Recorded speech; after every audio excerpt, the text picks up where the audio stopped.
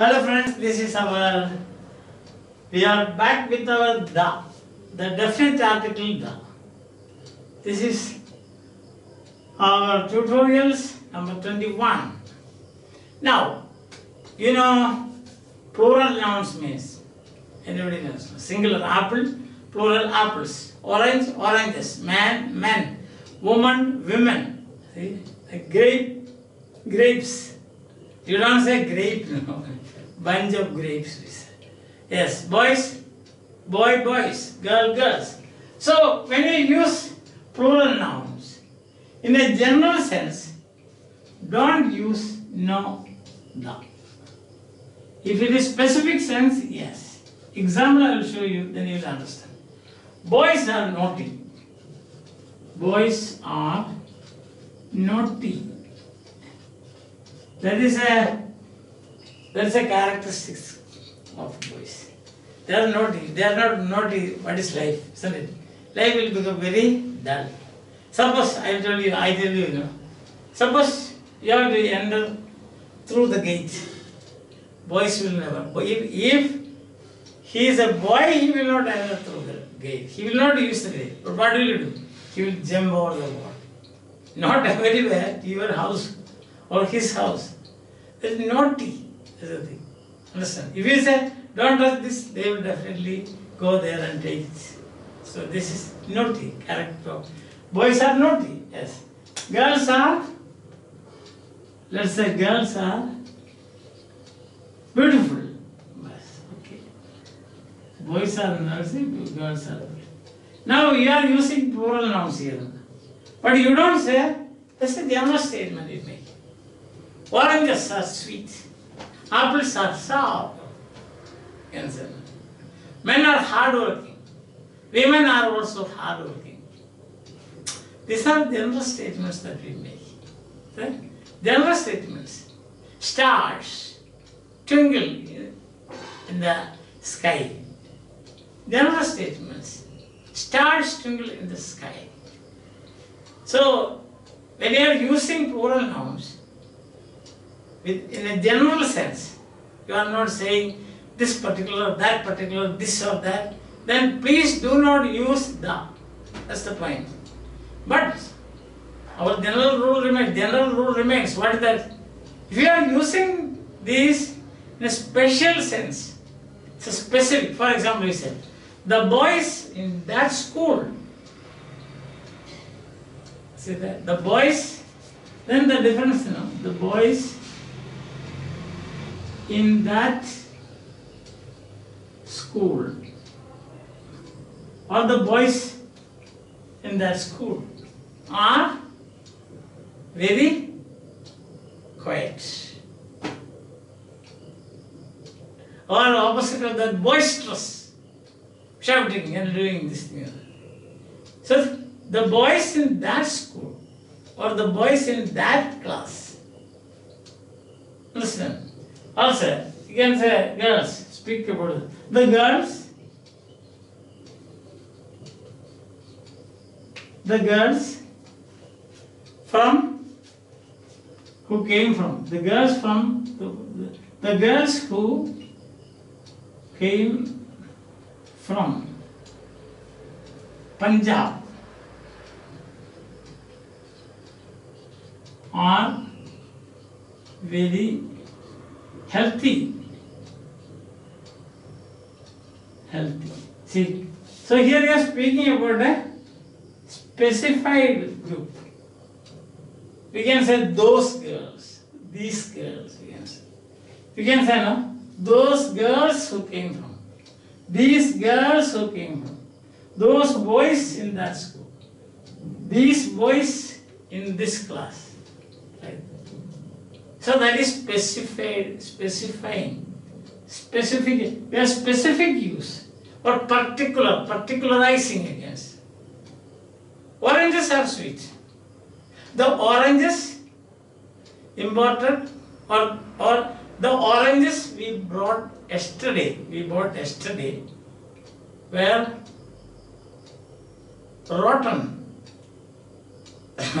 Bad sense. We can say The oranges, oranges are sweet. General statement. The oranges we bought yesterday from the market are sweeter. Understand? See? You say, um, heard melodies are sweet. Melodies. We are plural now. Melodies are sweet.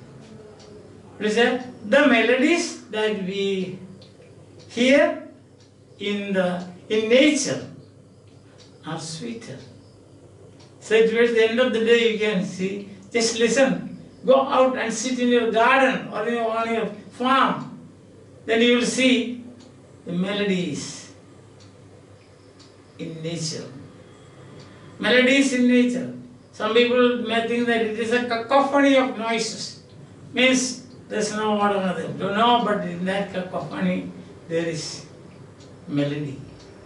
The melodies of nature are sweeter than those made by humans. Wonderful example, isn't it? Yes. So, so what's the point here? Just one point. What is it? Plural nouns, when you use in a general sense, do not use them. As we said, so balls are used for playing. The balls that we bought from that shop are useless. The balls. We are using both, in both sentences you will find the plurals. Balls, balls. Same here. Boys, boys. Girls, girls. Here you have got, there is no definite article. But here we have definite article. Because it is particular use. Particularizing or specifying. So in that case, with plural nouns, you have to use the definite article. Oh, it's a very beautiful uh, three-letter word, you know. Three-letter word, but very beautiful because some places you have to use, some places you should not use. Suppose everywhere, everywhere you can use, then what is the fun? As people will say, what is the maja? Maja means fun. What is the fun? It's no fun. So it should be like this. If you find that, you know, it need not be specifically stated like this. Even if it implies, by implication you understand that something is used in a specific sense, you, you can use the. Understand that? So for example, say rain destroyed all the or yeah, ah, the rains destroyed all the paddy. The rains, we say. So it's not there is it is not specifically it's, it's implied. The rains destroyed the paddy, all the paddy. So there you don't say it is understood that rains during the month of July. So you need not the rains in the month of July. In the month of July is understood because it's the season for heavy rains. You understand that point? Did you get the point? The rains, uh, the rains destroyed all the paddy. It's a, a said like. Now, here you don't say the rains in July. The rains in July, this much is understood. The rains. Understand? So, from this context, you understand. You need not say the rain, the rains destroyed all the paddy. The rains destroyed all the paddy. Rains destroyed all the paddy has no sense. Because always rains, they do not destroy paddy. But when you say it is understood, the rains destroyed all the paddy. Means the rains in July. Because that is the time for heavy downpour. Understand that? Or you can say another example. See, uh, the boys, the boys, uh, sorry, instead of boys, let's say children. The children, the children ate all the ice cream. Ice cream, ice. The children ate all the ice cream. And ice cream is uh, kept in the in the fridge. Let us say the children ate all the ice cream in the kept in the fridge. Now here we say this it is school. We don't say the children of this house or the children of my friends or the children of no, it's understood. How is it understood? Children ate all the again it be it's not possible. It is kept in a room, any children cannot get in and eat. So it is specific. From from the context it is specific that the children of that home. Therefore you can use, you should use in. If you find that the meaning, the meaning expresses the that it is or the meaning tells you or the context tells you that it is the use is specific, particularizing, then also you should use the. Of course, this requires uh, is it, is it a difficult thing? It is a, because compare this this uh, children ate all the ice cream kept in the fridge. See, in fact, the, the something is missing there. Is Children ate, can you say all the neighboring children came and ate the ice cream? No, it's not. It's not. In whatever way you argue, that is not going to hold water. Hold water. That means it is cannot be justified.